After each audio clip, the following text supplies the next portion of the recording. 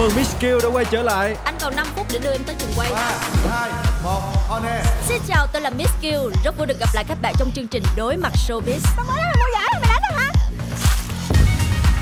Anh thấy mình quen nhau hơn một năm rồi đó.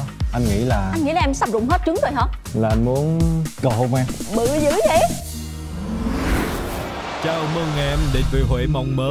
Wow, bình yên ghê ha Giống như là một thế giới khác gì đó. Mà nghe đồn á, tội ni Thằng Nguyên dắt con bồ của hắn về đấy dự tiệc chung với gia đình mình Anh chưa từng nói với em anh thuộc dòng dõi hoàng tộc nha. Anh thấy nó cũng bình thường thôi mà. Bình thường mà sống trong một cái biệt phủ rộng với cái cung điện vậy đó hả?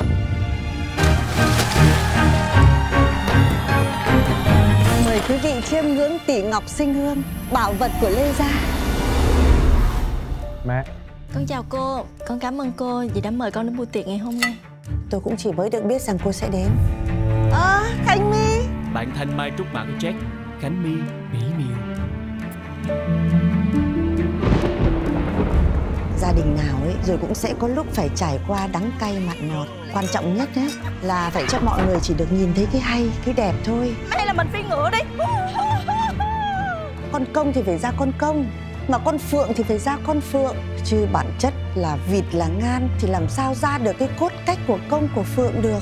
Trộm chết Tôi mang trà tim sen tới mời khách quý của bà. Tại sao mày lại đối xử với cô ấy như vậy Nhà ta không phải cái chợ để cho ai đó cứ muốn bước vào là bước đâu con Không đời nào tôi để con trai tôi chạy theo mấy cái thể loại showbiz tạp nham phù phiếm như cô cả không phù hợp. Mợ sẽ không bao giờ đồng ý của ta đâu. Có phải cô đeo bám thằng Nguyên nhà tôi ấy? Vì cô biết đó sẽ là chủ của cái gia tài đồ sộ này đúng không? Quyên Quyên Đợi anh. Con đứng lại! Dường như em không thuộc về nơi Em chấp nhận đối mặt với cơn bão của tụi mình. Nhưng em không chấp nhận ai nghĩ sai về mình Và về chuyện tình cảm của em và anh Ngày hôm nay con hẹn cô ra đây Chỉ muốn trả lại những thứ thuộc về cô. Và mang đi những gì thuộc về mình. Muốn vượt qua được cơn bão Cách tốt nhất lại là giảm đối mặt với nó. Bây giờ đã có em rồi Sẽ không còn con bão nào có thể vật ngã được anh nữa.